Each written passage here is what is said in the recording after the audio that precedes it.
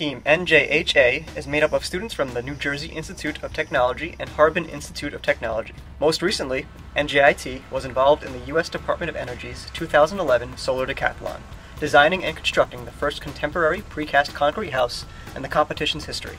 Students participating in the China Solar Decathlon have strong interests in sustainable systems, landscape urbanism, and architecture as a rapidly evolving process.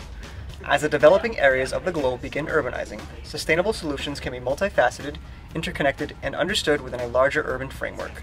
These urban and local scale design issues provide the drive and motivation for Team NJHA's participation in the decathlon. The team has started the project with the development of a master plan in rapidly urbanizing Hubei, China.